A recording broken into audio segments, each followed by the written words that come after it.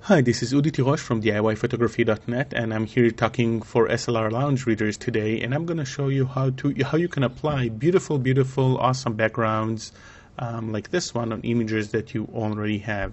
So I did this a few minutes ago. It only took me a few seconds, and I'm going to show you how to do it.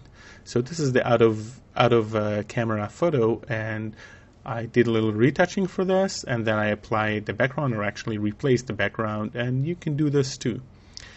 So this is a hand painted background, so it have a lot of intricate details. So I'm going to show you how it was done. I just removed the background and I'm going to do it again.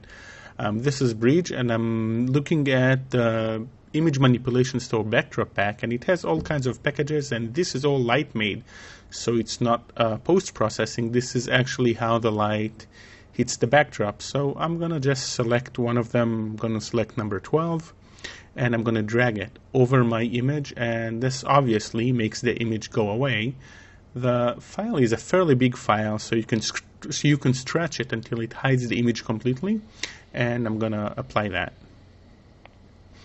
And as you can see the details are just astounding. This is a hand painted backdrop and what I'm going to do is I'm going to change it to soft light blending mode and that uh, this shows the image, but the image looks kind of crap.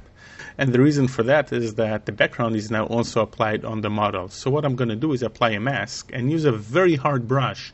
I'm going to paint away um, the backdrop on the model. And this is because I really don't want any backdrop details on the model. It's really not flattering for the model. And as you can see, I'm using a very hard brush and I, I'm not very precise here. I just want to make sure that the model doesn't have um, any texture on her.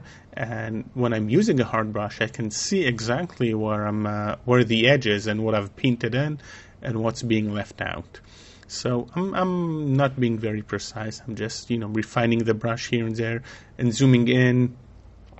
Um, and, and, and, zooming in, and now when I'm zoomed in, I'm using a very soft brush, and I'm actually um, uh, blending in the edges and I have more control. And as you can see, I don't really need to be very precise. The only thing that I need to make sure is that I don't paint outside uh, the model on the uh, backdrop.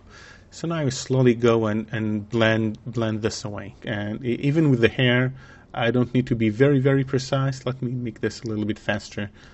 Um, and I can continue and blend in the edges on the hair um, and because the blending is so subtle, you don't actually see that transition.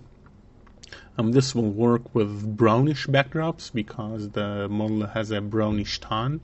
tone. And again, I'm going over the edges, uh, making sure that I'm not touching the backdrop, and slowly continuing. And we're almost done. And just to finish off the hand, I don't need to be really, really precise. And the reason is that the dark parts of the model are being taken care of by the soft light blending mode. And this is it, we're done. So this is what we started with, and this is where we are, and you've seen this live time. The entire movie was three minutes, so I think it's pretty awesome. Thank you for watching.